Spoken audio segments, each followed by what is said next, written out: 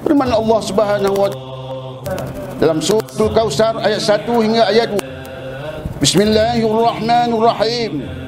Inna a'tainakal kautsar fasalli li rabbika wanhar. Inna syani'aka huwal abtar.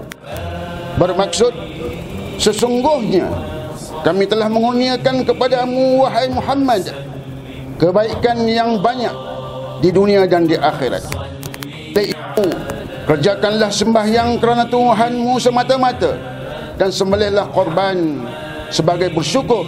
Sesungguhnya orang yang engkau dialah yang terputus dari mendapat sebarang perkara yang diingininya.